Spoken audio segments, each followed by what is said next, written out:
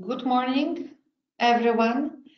Uh, my name is Dorota Angotti. I will uh, conduct today's uh, webinar. However, I have some issues with my camera, so you cannot see me.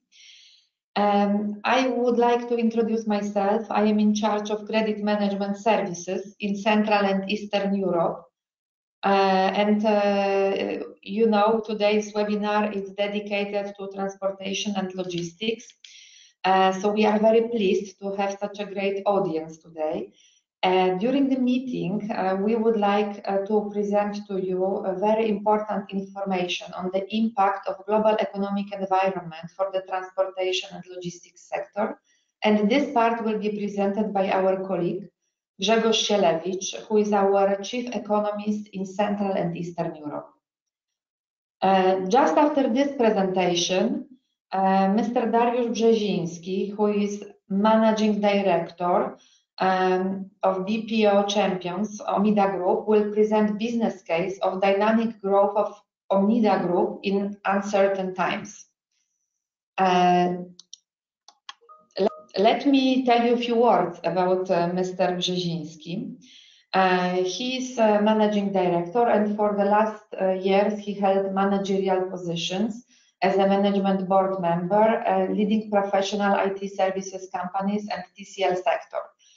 Um, BPO Champions, being a member of Omida Group, uh, provides outsourcing and all back office processes of the Omida Group. And uh, I'm sure uh, many of you are aware that Omida Group is one of the largest transport and logistics groups in Poland.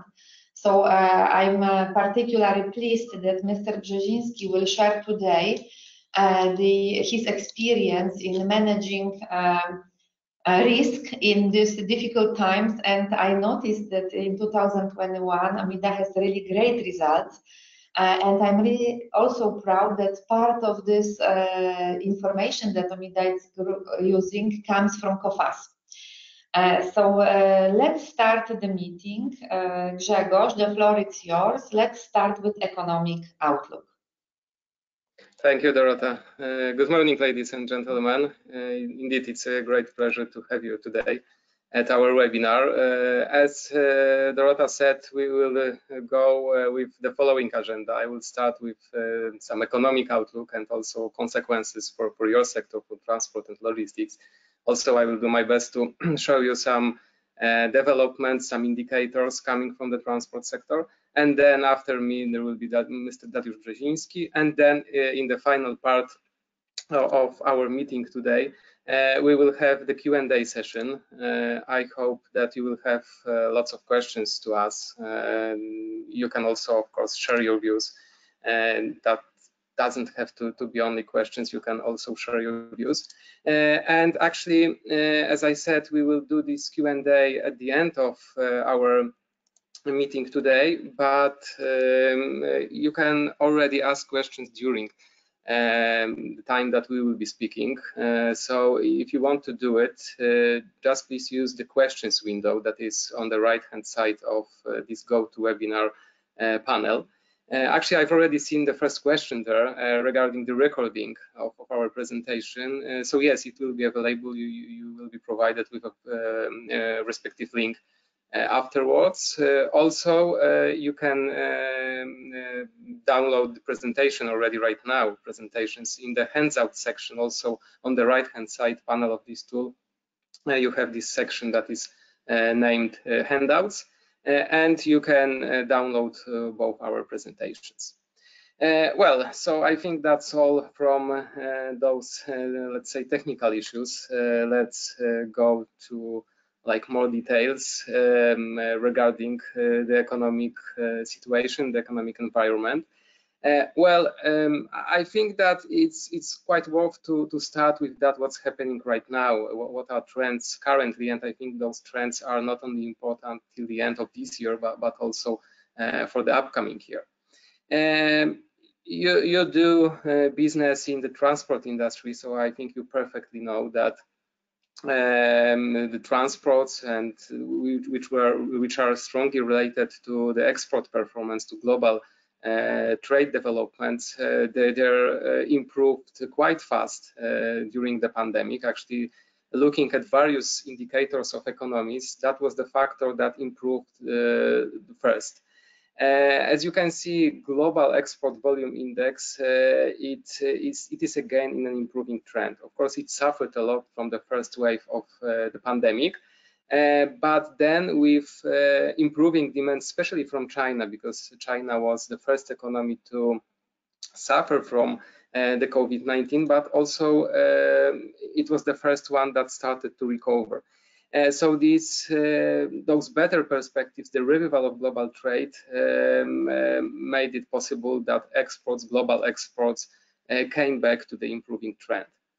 Uh, of course, there are some negative consequences uh, of that because that improvement, I would say that it was faster than expected. It's mostly related to the manufacturing sector, and right now we have huge consequences of that and that we have shortage of inputs of, of various inputs. Um, not only commodities but also inputs used in the production process semiconductors for example being one of the most evident. Uh, so recently as as you can see on the chart on the right hand side we have um, still high prices of commodities but of course also high prices of energy uh, still agricultural prices remain uh, much higher than they were not only during uh, the first waves of pandemic but also before this the, the, current crisis. going further, that also relates to uh, to um, supply chains issues. Uh, so, so we have huge disruptions here. It's not, not only that we have higher prices of inputs, but, but also those shortages uh, made that uh, companies suffer from the lack of inputs and uh, even if they see demand even they can respond to, to this um, demand that is right now worldwide or rather in a bulk of economies uh, they are not able to do it because, uh, as I said, there's a shortage of particular inputs. Uh, here you can see examples just for two large economies, the US and Germany. Uh, but it applies to, the bulk of other economies, also to our region, Central and Eastern Europe. So in terms of Germany, we, we, of course we are strongly dependent on the performance of the German economy and German exports because uh, Central and Eastern European countries um, uh, cooperate. Uh, they, they, are um, suppliers of various intermediary goods or of various final goods used then in the uh, in uh, German exports. So as you can see, according to latest data that was especially seen in the electronics industry, but not only automotive, plastics, furniture, uh, all those uh, sectors that you can see here uh, suffered from the shortage of inputs much more than they um, uh, recorded that they reported in the second quarter of uh, 2021 and already at that time it was a serious problem. well, uh, looking more at uh, mac macroeconomics, uh, we see that uh, this year the global GDP growth will reach 5.6%. Uh, so that's a good message, undoubtedly, after the recession that it was recorded last year in 2020. But here, this um, growth number, please be aware that is strongly affected by so-called statistical base effect. Uh, of course, we compared that to very weak levels of 2020, so uh, it comes with no surprise that, that we will have strong growth uh, in 2021. But on the other hand, we also have some countries that are doing better than others. Um, uh, in terms of largest economies, uh, that's mostly China. And that, as I said previously, already started to recover faster than uh, other economies, including European economies, including the US economy. Of course, it was different because uh, COVID-19 affected China mostly at the beginning of 2020, whereas uh, where, when China started to rebound, then uh, the peak of the pandemic or the first, sorry, the first wave of the pandemic uh, was uh, seen in Europe and in the US, and then at that time we had lockdowns whereas uh, the Chinese economy uh, were, were uh, at that time recovering. Uh, so it's still it's still quite valid for China that uh, it uh, still delivers quite good results.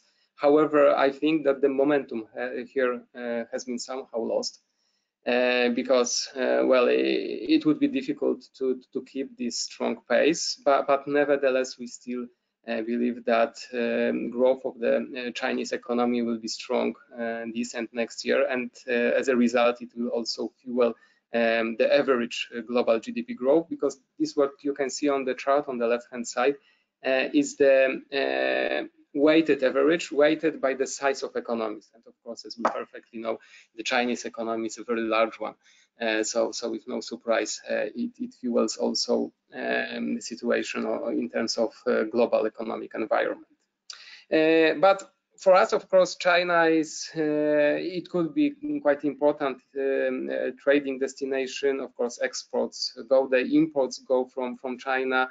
Uh, and and even in terms of uh, the export exposition uh, coming from Central and Eastern European countries, that are, that is not only the direct exposition, but even more indirect one through, for example, Western European economies.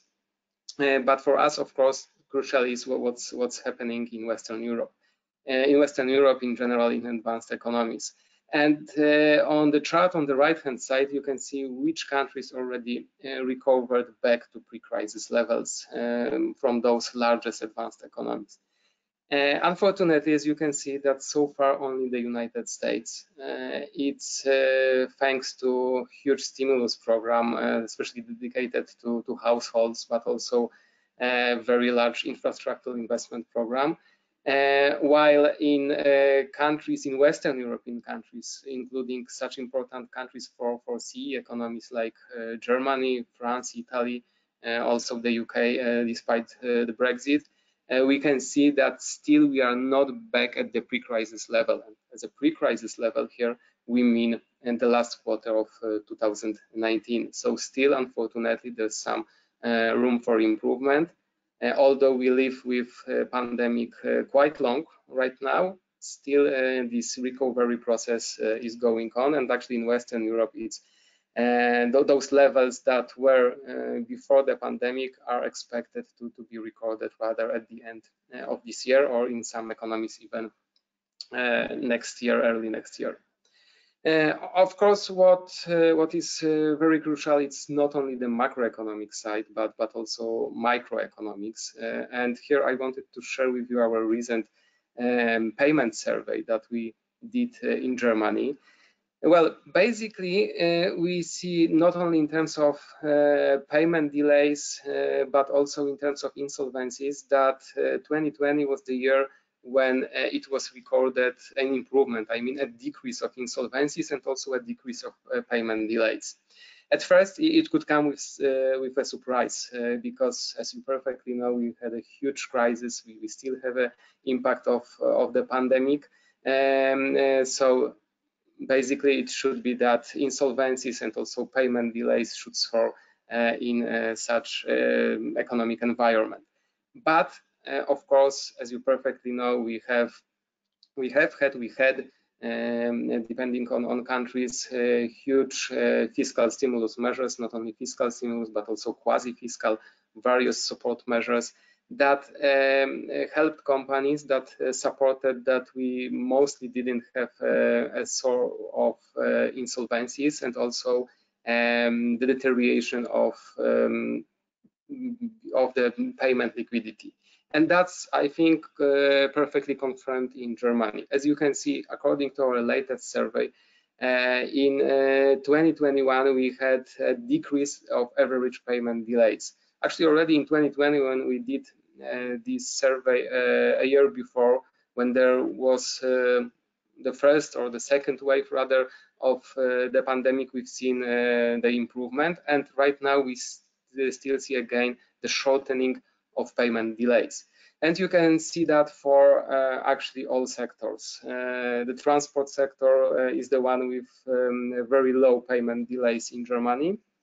But uh, I, I, guess for you, the transport sector, uh, you know perfectly what are payment delays, what, what, what was the payment behavior in the transport sector for you. I believe it's more crucial what's happening in other sectors because you uh, do business with uh, lots of other uh, companies with various sectors, and then for you it's crucial what's particular particular in those sectors. So as you can see, uh, the longest payment delays uh, are uh, in Germany are in uh, retail, textile clothing, and machinery.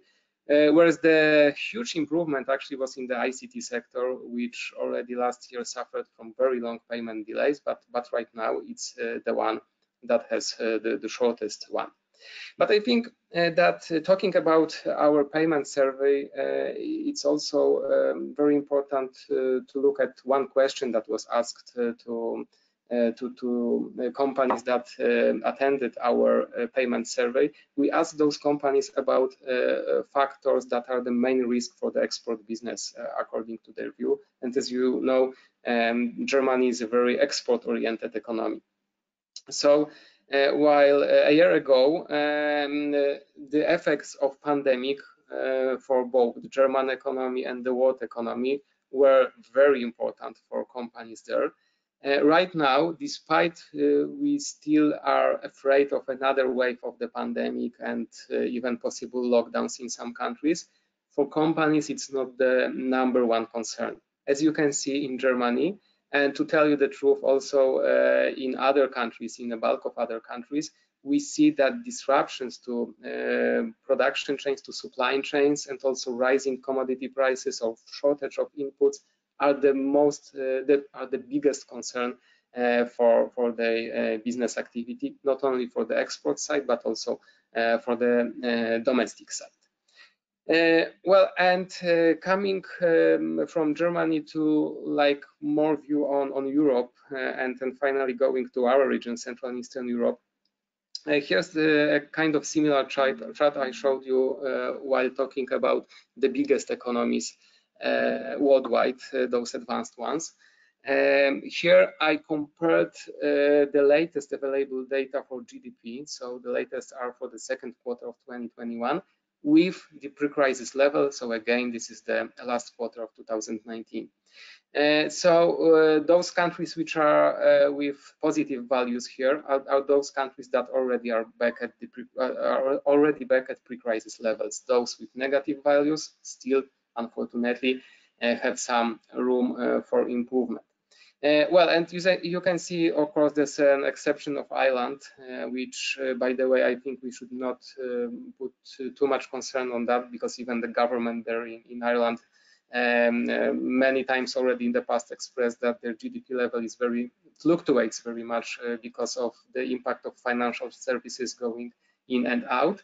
Uh, but nevertheless, it's the economy that in Europe uh, is, is the best in terms of the recovery process. But then if you take a look at other countries, uh, those with um, already pre-crisis level or, or, rather higher than it was in the last quarter of 2019 are mostly Central and Eastern European economies. So like Estonia, Serbia, Lithuania, Romania, Poland, uh, Hungary. Also, we can see here some Nordic economies uh, plus, uh, plus Greece.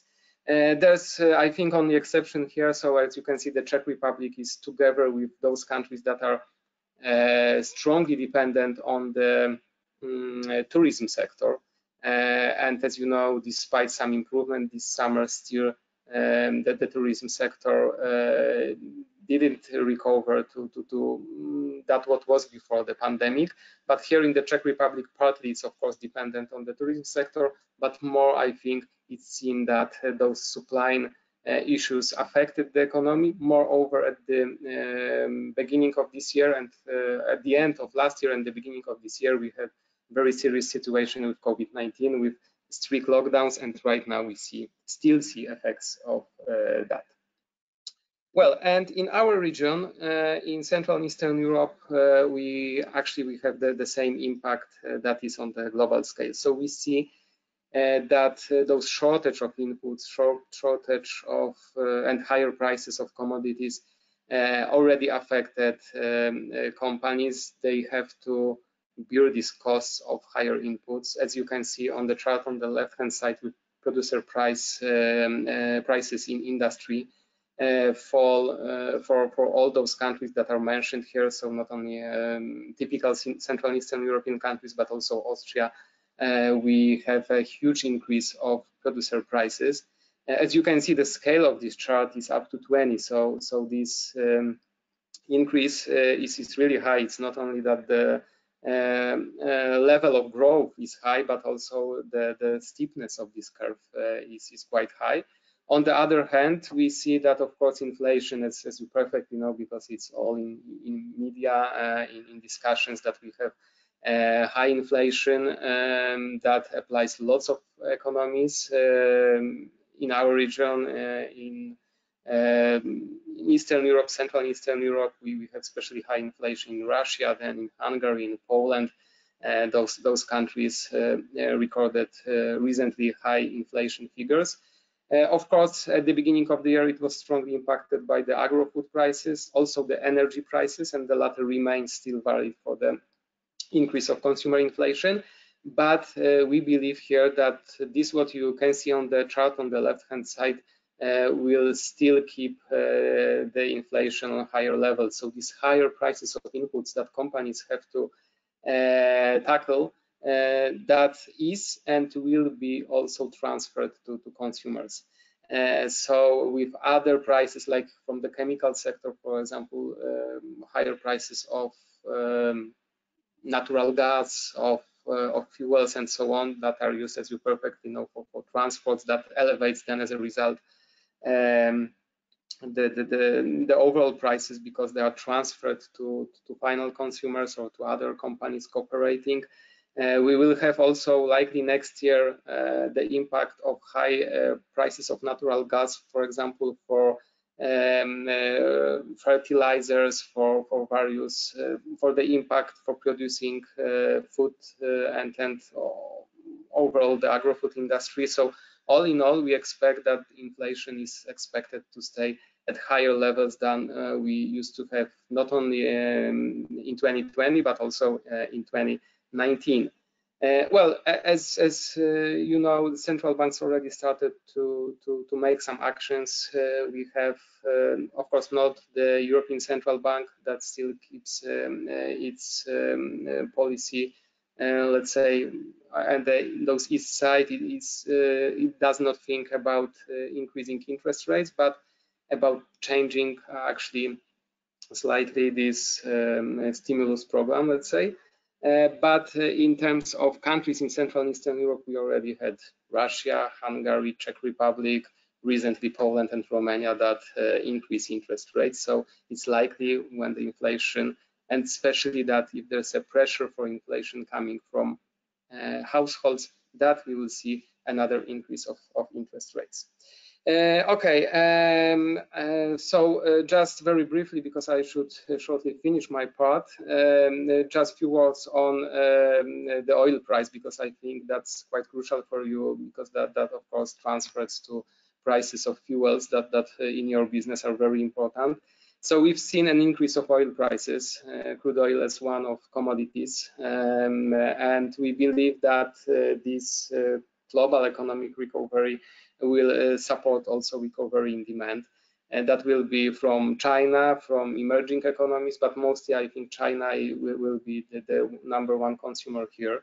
Uh, and we have, uh, of course, OPEC plus countries that uh, want to adopt uh, their strategy and not to uh, to, to lose uh, market shares and, and uh, not affect the prices negatively for them. So, so they wouldn't like to see prices going down because as you know, in 2020, they were quite low, especially uh, at the beginning of uh, the pandemic. So that's why they are very cautious with, um, uh, with, with, their decisions regarding the output.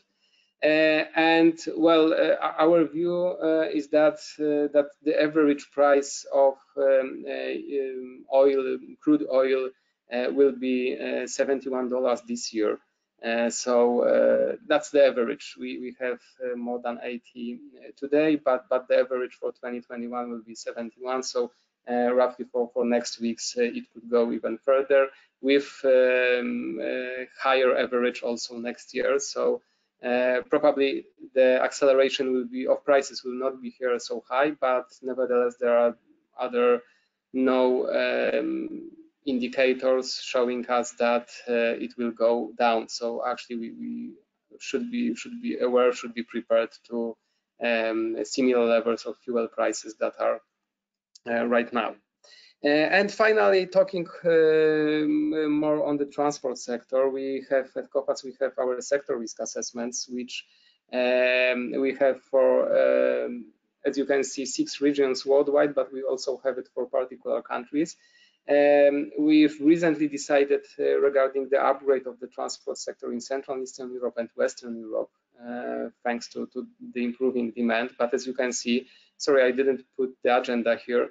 Uh, it's the uh, green color is low risk, uh, the yellow color is uh, medium risk, and this orange one is high risk, and this dark one is very high risk. So we upgraded the transport sector from the very high risk to high risk. So still it's high risk, but nevertheless, as I uh, said, uh, thanks to the recovering demand, we, we see also better perspectives for the transport sector. Um, uh, I will not talk about what, what I wrote here, but basically we see that uh, in 2020 the transport sector was strongly affected by the pandemic, whereas in 2021 uh, it already benefited from the rebound of the economic activity. Uh, and according to our view, we have uh, a model uh, here at Coface that predicts what will be the turnover of uh, the transport sector, global transport sector.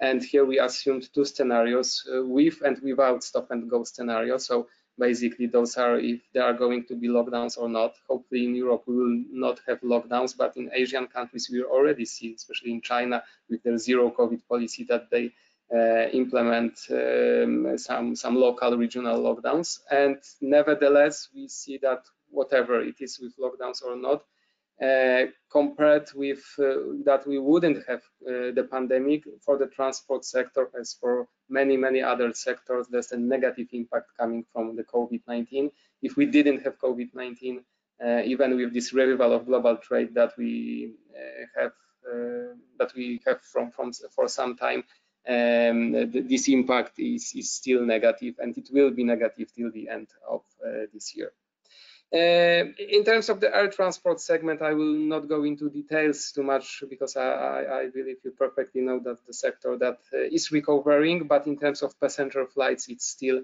uh, much weaker than uh, it used to be before crisis. It's somehow uh, it's uh, compensated by higher cargo um, flights, and indeed the latter became very important, not only mostly for the high um, tech goods, high quality and high prices goods, but it's uh, also used for, for other parts, especially for those coming from China, because as, as uh, you know, we have um, especially uh, higher prices and, and uh, disruptions in terms of the maritime transport that is usually used uh, um, with imports from China to Europe to, to the US. Uh, so we have um, really um, much lower the, a lower availability of containers and also the maritime freights, uh, freight rates are, are surging. Uh, well, uh, that is that um, I think it's kind of asymmetry here because uh, from Europe, from Europe, but for, from um, advanced economies to China, we have um, relatively not as, as a high increase of prices of maritime transport, but we have really high prices and a huge increase coming from China, from Asia, to advanced economies, uh, this, this, asymmetric situation is still going to last uh, because indeed China remains very important, very important uh, supplier to, to, to, to, the world uh, and actually in terms looking just for the um, global trade developments and, and those figures dynamics they were able to uh, improve to, to, to increase their share in uh, global trade by 2.5 percentage points uh, in 2020, what is actually a very high value. Uh, um, we see some countries in Central and Eastern Europe that were able also to increase their shares in global trade um, share, but uh, nevertheless, China, I think, is, is the number one here, especially considering high volumes of, of that, what, what it exports to uh, to, to, to, other countries. So we think that those disruptions uh, will be also unfortunately in, in, next weeks or even months. We will still see that uh, in 2022, especially uh, at the uh, beginning. And finally, some some was on transport sector in our, our region, Central and Eastern Europe. Well, we have lots of companies in the transport and storage sector in Europe. mostly it's that the bigger economies have, of, of, course, the bigger number of um, active enterprises in, in the sector. But uh, actually it's it's not it does not come in come in line with with the size of economies. We have for example uh, the Spanish economy that uh, is the number one in terms of active companies. Uh, from Central and Eastern Europe we have lots of companies uh, coming from Poland. uh, but even in other countries especially in Central and Eastern Europe we have lots of small entities uh, that of course uh, if there are some some disruptions some problems that they are strongly affected uh, they are not so supported for example by their large mother companies they cannot be supported by by some companies as, as they not always are in some chains uh, or franchise uh, chains uh, that that is the case for example for, for lots of western european companies. Uh, for us here in Europe, uh, the road sector is the most important, uh, as you can see, but um, the sea part in terms of imports, exports also constitutes uh, quite uh, an important share. Uh, I think here on the chart on the right hand side, Russia is, as you can see, the exception. looking at large economies worldwide, as you can see, still the rail railway uh, sector, the railway segment is very important in Russia. It, it uh, remains it's uh, much more important than, than the road transport sector. Uh, and uh, here, uh, talking regarding the transport sector in Central and Eastern Europe, um, we have to be aware that various countries in our region, in terms of road transports, are very important. That's what's happening on external markets. Uh, so not only small countries uh, like, uh, for example, Lithuania, Slovenia, are very exposed in terms of um, export exposition, but also in terms of transports. They do business on uh, external markets, and the domestic market is not uh, the one that is um, uh, that is relevant. For, it is relevant for them, but but its size is is too small just to do business. That's why they um, they, they go uh, to, to other markets, to European uh, Union, mostly European Union uh, markets. And of course, this so-called mobility package um, is very negative for countries in Central and Eastern Europe. Uh, they got high shares in terms of uh, international transports uh, in Western Europe thanks to their competitiveness. Um, but right now, of course, that's the negative point coming uh, from that that uh, unfortunately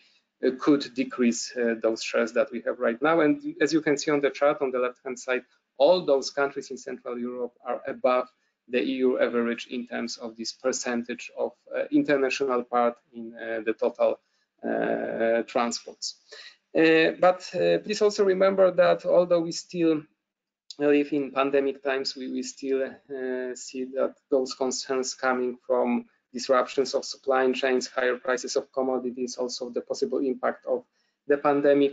We have um, huge, uh, quite huge labor shortages uh, in, in, countries in our region, which uh, of course apply also to um, the transport sector. As you can see on the right-hand side, that's the uh, example of Poland, but actually in other countries in Central and Eastern Europe, uh, it's roughly the same. The trend is the same. So after some softening of uh, this factor for um, uh, in, in, during the first wave of the pandemic. Right now, there are coming back labor shortages, and I think uh, you, you, perfectly know that uh, that that you see that also in, in, your companies.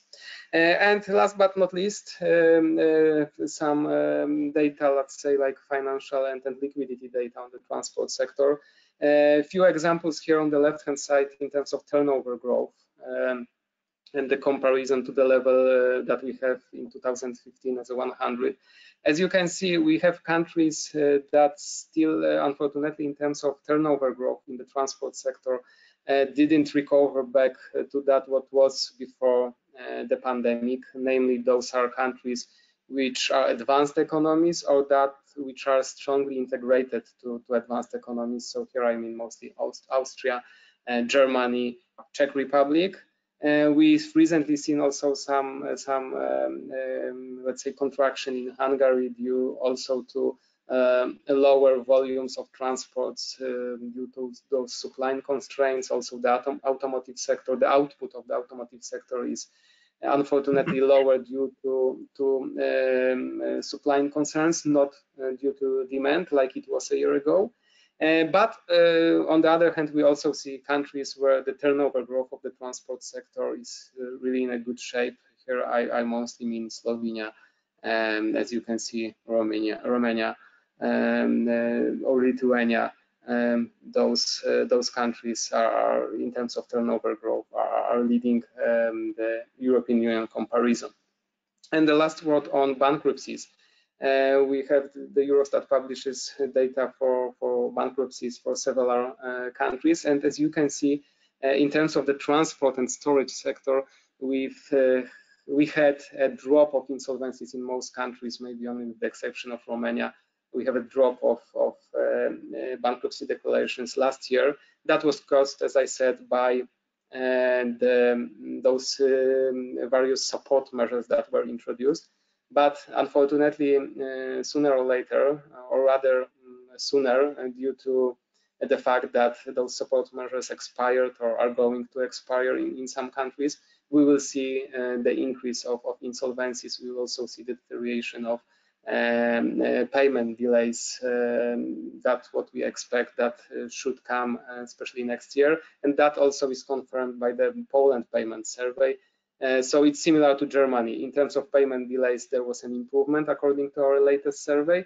But when we ask companies about their view uh, regarding the uh, expected um, uh, change in, in terms of receivables, outstanding receivables, at an average, they expect an increase, and especially the increase is expected in the textile clothing, transportation, and agro-food sector. So um, as I said, um, uh, there are still lots of challenges in terms of the economic side, but looking at microeconomics, those challenges will be transferred uh, also, unfortunately, to um, the business liquidity side, with uh, right now insolvencies uh, gradually increasing, what we expect to be uh, maybe not very rapid um, just at the end of this year, but then in next quarters 2022, we are likely to see coming back to the insolvency levels that we have uh, before the crisis.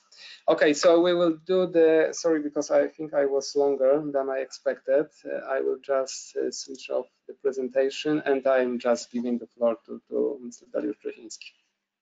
Thank you, Grzegorz, uh, for this valuable data and information that you shared. So now uh, Mr. Grze Dariusz Brzeziński, who is Managing Director of BPO Champions Omida Group, will present business case uh, of about the dynamic growth of Omida Group in these difficult times.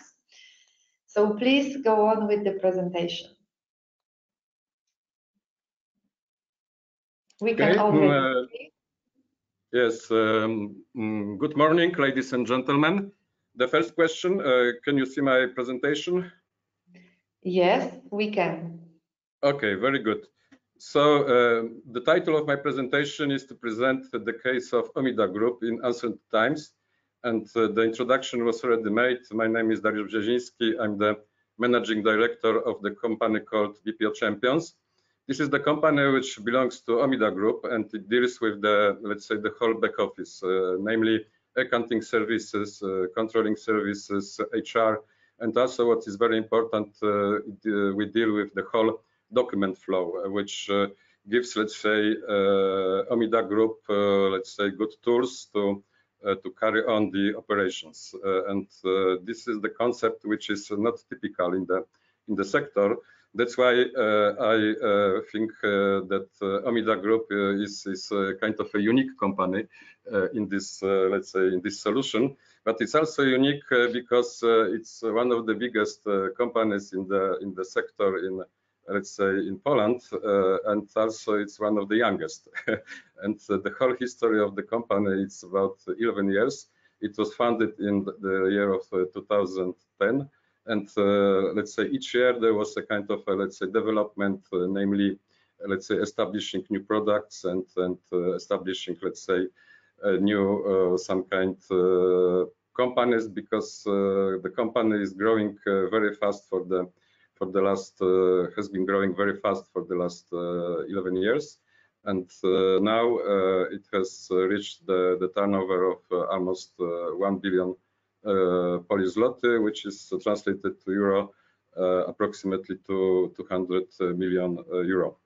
Uh, currently, the, the, the group is consisting of a couple of companies, uh, Omida uh, SA, which deals with road transportation, Omida CNTR, which deals with uh, air and, and uh, sea transportation and uh, Virtus Logistics. This is the company which is specialized with road transportation, but has some kind of, specialty of, let's say, for military sector and uh, the uh, recently uh, established company which is called Starclock. The company is, let's say, specializing in shipping services and transportation services for Nordic clients. So the group has grown uh, very large uh, and now uh, it has also a kind of a broad coverage of, let's say, containing the, the whole territory of Poland, but also it has offices in neighboring countries, namely Germany, Hungary, and, and Czech Republic and uh, the let's say the quite uh, wide network of, of, of, offices helps to really serve uh, clients from various industries, various types of, of let's say, of uh, needs. And uh, this is, let's say, the illustration which you see that we are very close as Omida Group to the to the client, it, particularly each each destination. Uh, the, the, the success of the company has been uh, recognized by by some let's say industries industry experts and and uh, there is a a bulk of rewards and awards which was given to the company. There are some of them like let's say diamonds of uh, the let's say the uh, newspaper Forbes, which is well known uh, internationally. So now you see the illustration of the of the growth, mm, and uh, this is let's say just to say that uh, the company has been growing uh, for the rate of growth 30 or 40 percent each year, but if you see the current turnover, which is in 2021 uh, close to reach uh, 1 billion, uh, 1 billion Polish zloty, the, the turnover will be four times bigger than it was, let's say, six years ago in 2015 and it's uh, it will be two times uh, bigger than it was uh, in the year of 2018 which was three years ago. And uh, the year of 2018 was very very important to the company. Uh, of course uh, each year you have if, as you can see there was uh, a lot of development. But in the year 2018 uh, Omida Group faced some kind of problems. That the sales were growing but uh, not necessarily the profits. The infrastructure of the company and let's say the systems were just not able to serve the, the rapid growth of the of the of the of the company. And then uh, the, the management decided to, to prepare a, a development strategy, which uh, was to first deal with the uh, growth, but also to some kind create a, a roadmap for, for further development of the company in a very uncertain environment.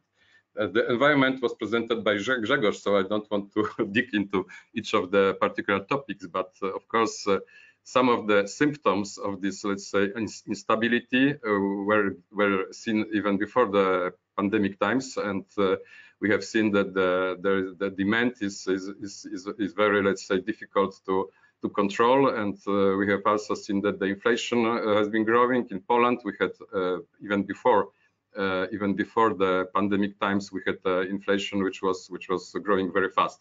So the company decided to, let's say, to stop uh, and to think how to really create a, a, a roadmap for for further development. And the, the this was the, the let's say the, the very important project, which was somehow to identify what were really the growing pains the the company uh, took the kind of, uh, let's say, one of the best methodologies in, uh, let's say, this is called growing pains methodology created by some US experts. And the, based on the identifying these growing pains, there was a preparation for the for the roadmap for, for the growth of the company.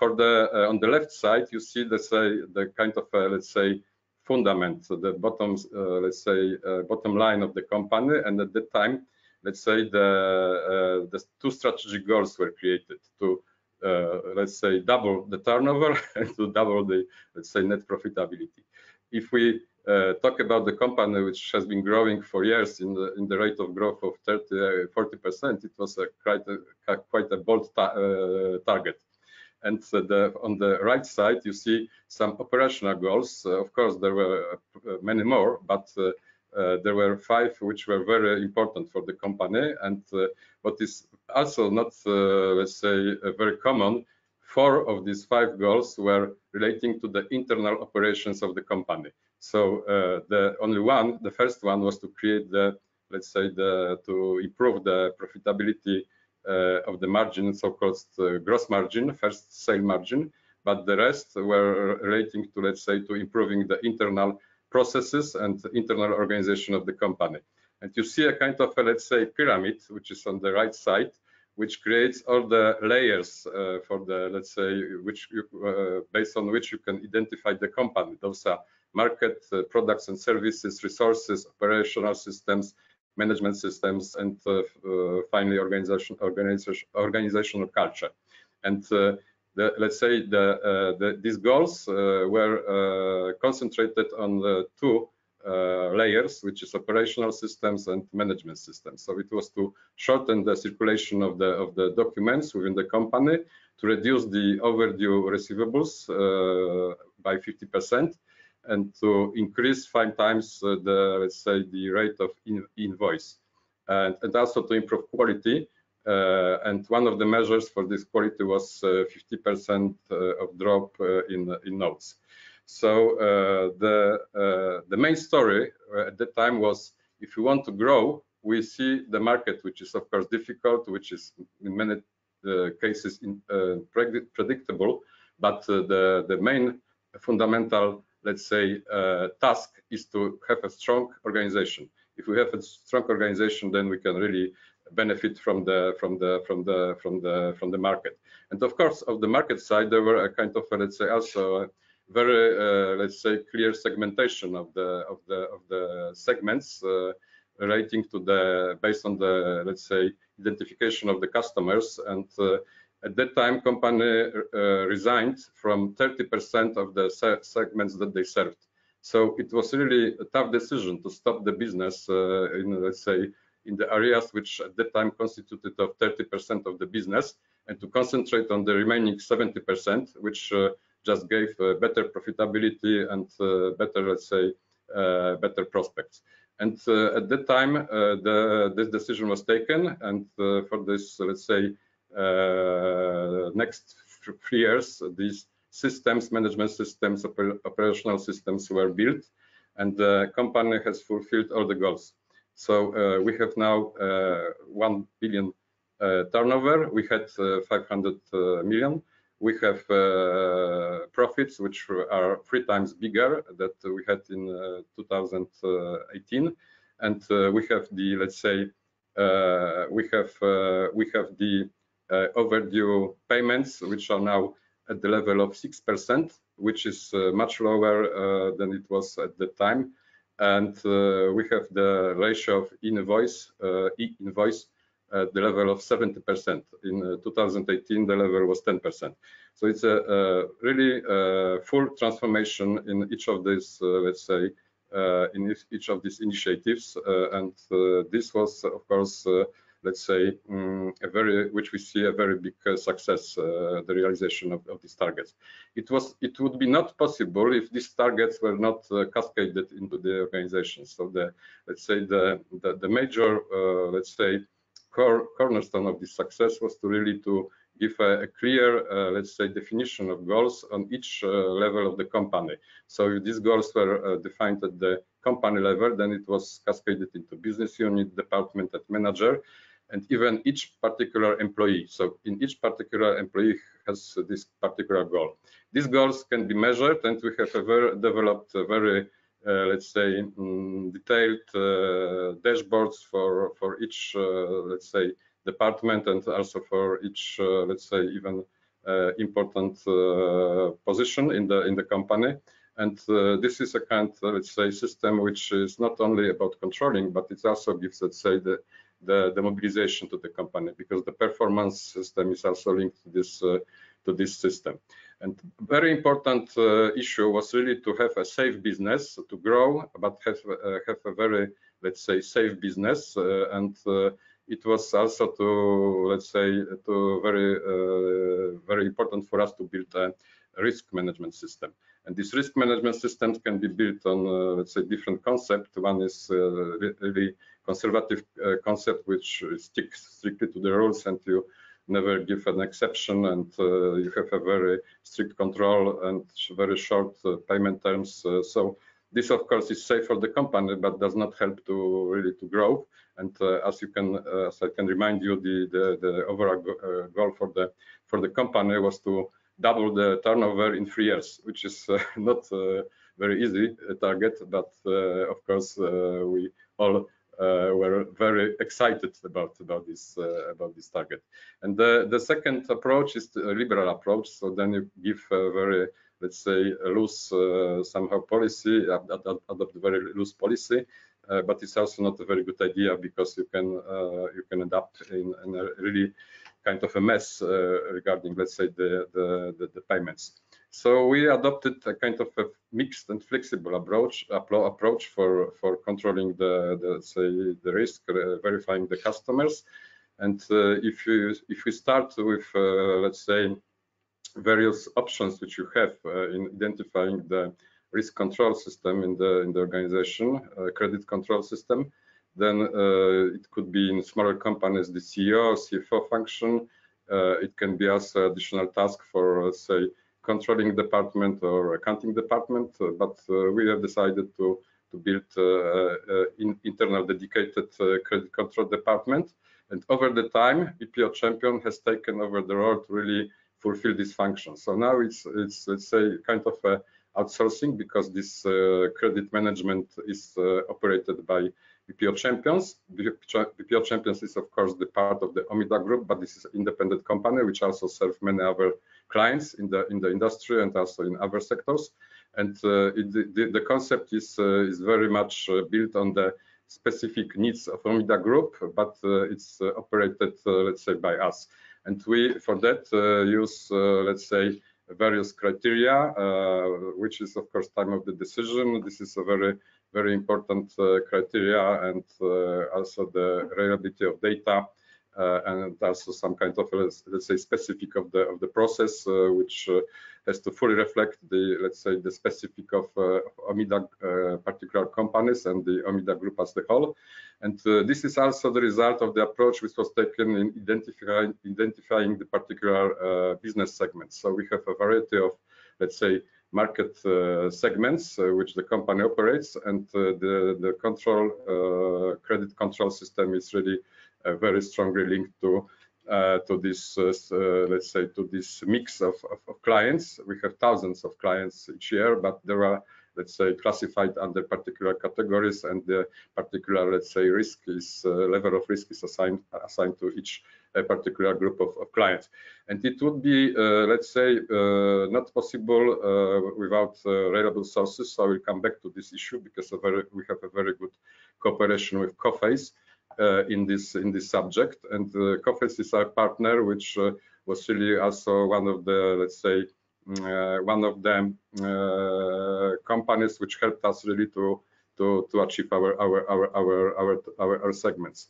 But uh, if you look at the level of credit application over the time, so they, uh, uh, the, the, the good news is that the level of this credit application dropped very rapidly, while the business, uh, our business has grown uh, also very rapidly. So it's uh, exactly what you would expect.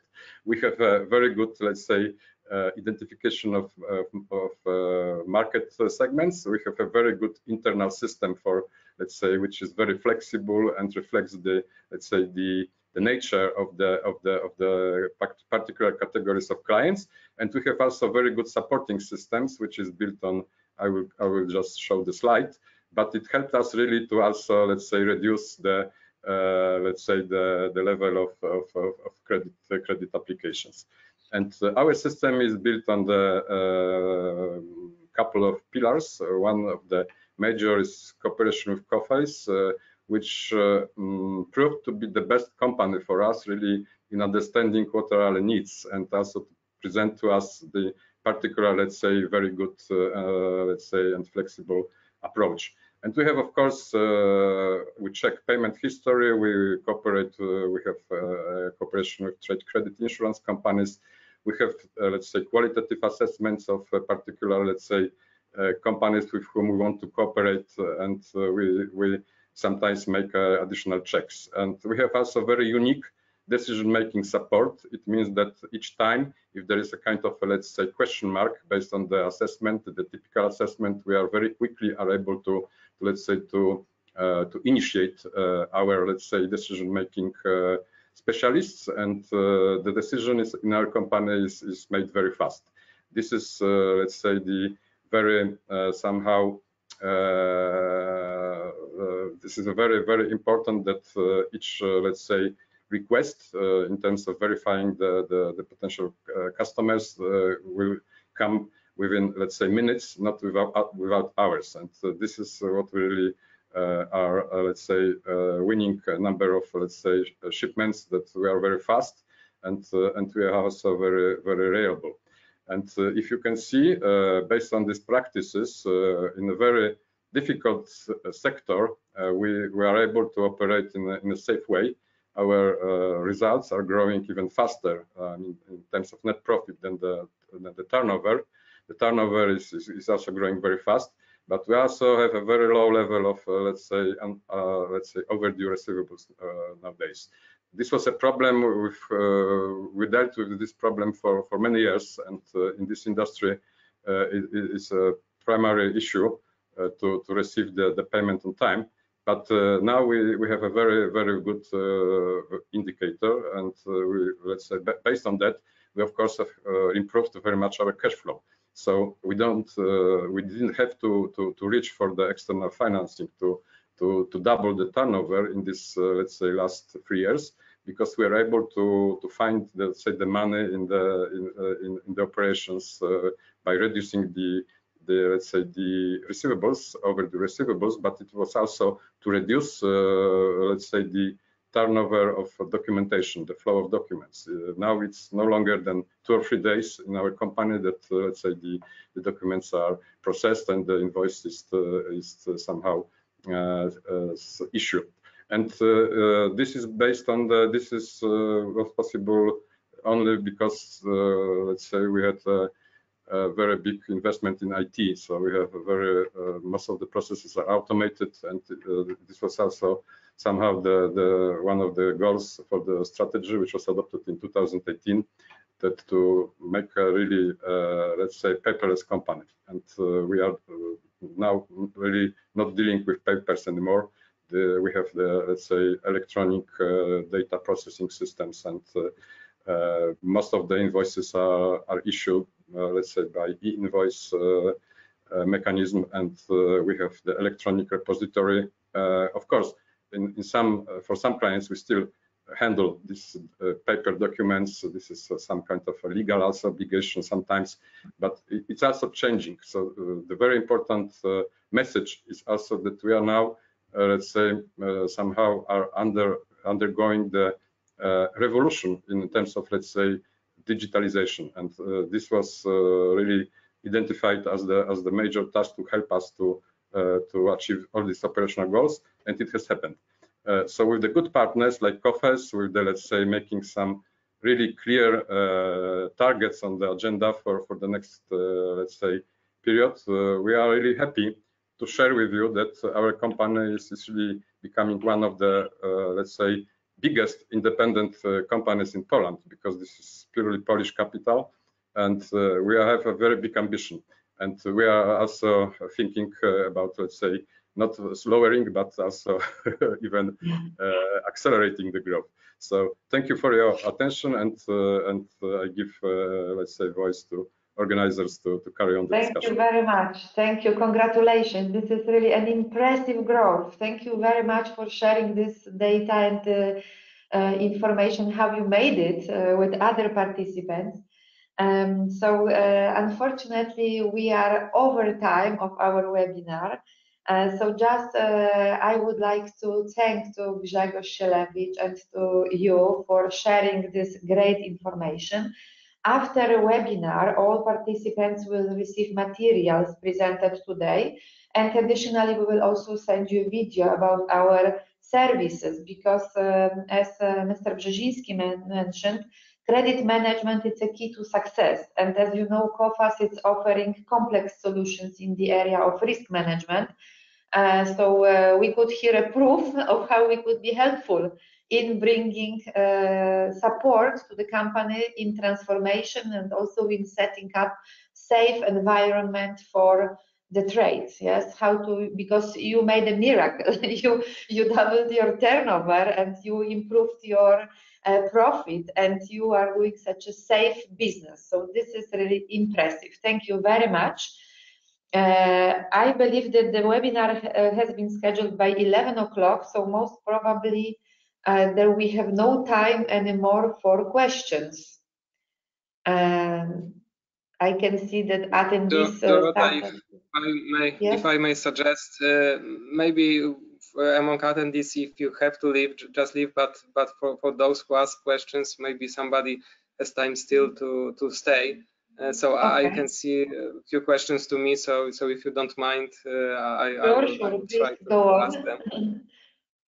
So yes. well, yes, uh, just just be, being being quite fast. So I I see question uh, regarding expected impact of skyrocketing energy and fuel prices.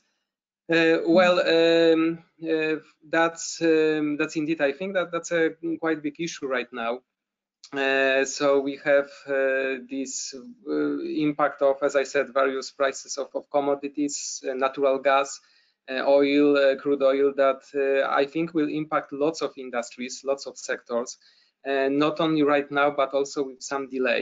Uh, because I mentioned already the uh, example of the agro-food industry, that higher natural gas prices will impact higher prices of fertilizers. And fertilizers, as we perfectly know, are used in the agro-food industry. So this impact for the agro-food industry actually will be seen rather next year. Um, but nevertheless, also we have some some typical uh, raw commodities. Uh, the, the, prices uh, increased. Uh, well, uh, the question is that uh, when it's going to stop. Um, on one hand, I think that the room for further increase is quite limited, especially compared to this acceleration that we had previously. Um, but nevertheless, they are not going to stop either decrease. On the other hand, like yesterday, we had the decision of the Chinese government uh, to, uh, to, to impact uh, the coal prices because they expressed that according to their view, the coal prices are too high uh, and they are out of fundamentals. And uh, they already met with uh, some big companies and actually asked them, but asked them, and, and they said if they do not accept this proposal, they, they will be fined. Uh, so so the, the, the, there will be some some particular financial fines put on them uh, to limit the increase. And actually we already seen that uh, in in the coal prices uh, worldwide that that they started to decrease. Uh, so well answering your question i think that the impact still will be and it will be on wide sectors the next uh, one is uh, more like comment. Inflation was also heavily raised by the tax rise on tobacco products in the EU. From 2022, tobacco will not be included in the inflation calculation. Yes, that's correct. Thank you for, for, for this comment. And I would also like to, to add that, of course, we had some one-off effects for inflation uh, last year, this year, that uh, in some countries we had the changes of the excise tax. Uh, in, in, increases of excise tax for, for various goods, uh, like you mentioned, the tobacco products, but uh, we also uh, had some changes in value added tax uh, in, in various countries, for example, in Germany, uh, and that also were one of factors that impacted inflation indeed. Um, the next question uh, is uh, regarding the Poland payment survey. Average payment delays in Poland are only for 2019 and 2020. Uh, what are results for 2021? Uh, well, in terms of this survey I showed you, indeed it was published some time ago. Uh, we put 2020 because we actually released it in 2021, but we thought it would make no sense. We actually we asked companies uh, regarding their uh, their views on, on the latest payment um, delays in their companies, and we thought that it would be good to that, that it referred mostly 2020. Uh, answering your question, right now we are uh, collecting answers to our next survey in, in, Poland. I, depending on this process, how fast we will be in, in collecting answers, how fast companies will be willing to answer to, to our questions. Uh, we will uh, shortly, I think shortly, soon we will uh, issue uh, our payment survey and of course we will be happy to, to share it uh, with you. It will be available for free. Okay, so yes. that were all questions to me. I also see one question to me, uh, which is, Darius, did you achieve to reduce the overdue receivables? And I partly already answered this question. Yes, very much so. Uh, our uh, overdue receivables are currently at the level of 6%, which is much, much lower than it was three years ago and I think it's a very good result for the for the for the sector. Uh, and uh, this is also a very, uh, let's say, important to to our to our strategy because one of the let's say key elements of this strategy is to pay all our let's say external contractors one day before the deadline. We are not the company which delays the payment. We are the company which pays one a day before, let's say, the official date of the of the payment. This relates to the, let's say, to external uh, co companies which cooperate with us. So this is also not very common in the in this industry because many companies are not paying on time. And we are not only uh, talking about the clients, but we're also talking about, let's say, the uh, payment from one transportation or logistics company to another. And we want to change this status. And because we are very healthy in terms of our internal operations, internal of our, uh, let's say, organization, we make a commitment to pay uh, before the before the deadline. And the the mm-hmm. let's say the the, the level of uh, of our overdue receivables are let's say the very safe level. Thank you very That's much. Are there, is yeah, there any other questions? All, all questions? Yes, so, yes, those are all questions. So, so thank you, thank you for all of them. Dorota, okay. the floor is yours. Thank you very much again for preparation to this webinar, for conducting it, and for giving so many valuable information on economic outlook and on real business case, how you can grow business safely by uh, preparing well with and using services which are available at the market. Again, thank you very much to all the participants. Uh, please wait for email from us with uh, materials and we hope to uh, stay in touch with all the participants. I will ask my colleagues in countries where we have Coface offices also to contact participants and ask uh, how Coface can support you in uh, growing safely. So thank you very much. Have a nice day. Bye. Thank you. Thank you. Goodbye. Bye. Thank you. Goodbye.